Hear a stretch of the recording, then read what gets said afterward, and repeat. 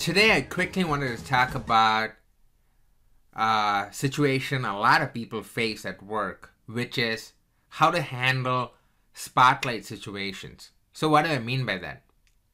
So, how many of you have been in the situation where you're in a meeting and all of a sudden someone asks you, Hey, Raj, could you uh, finish that work immediately? And they just literally discuss about that task like about a minute ago, and then all of a sudden they put you on the spot and ask you to commit to something which you don't have any idea about, right? And then what do you do? You immediately say, "Oh yeah, okay, uh, I'll do that. I'll do that," and you rush to answer that because uh, you're caught by surprise, and you do not know uh, how to react to certain situations like this. So that's why I have two strategies which could, which could help you when you're put on the spot in meetings or uh, during uh, discussions in groups and so on.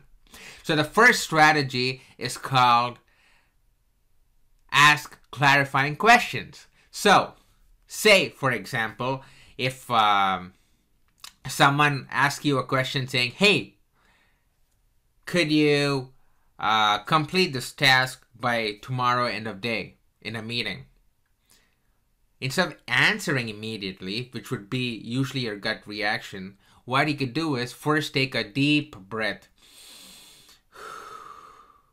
and then ask a clarifying question. And your clarifying clarifying question could be like, "Hey, could you please repeat that one more time?"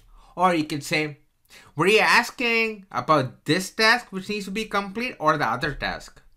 Or you could say, "Hey, I have another priority task do you think that I could put a hold on that and then work on this one? So asking that clarifying question helps you uh, buy more time and helps you give time to think about how you want to answer uh, questions or things which are sprung on sprung upon you like suddenly without you being ready for it. So ask clarifying questions.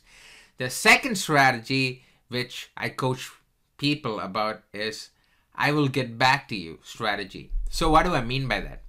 So, at any time uh, you feel that you're getting cornered or you're uh, being forced to commit to something and you have to make a decision immediately, what you could say is, hey, let me get back to you on that because I don't have all the information right now, but I could uh, just gather some more uh, information about it and then I could get back to you after the meeting.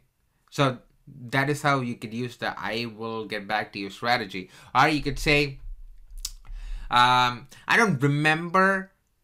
Say someone asks you a question about, hey, can you tell me how the system works? You could say, if you're if you're not, um, uh, if you don't remember things, you could just say, hey, I don't remember uh, the full Uh, details about that system, but why don't I get back to you on that and then follow up in an email?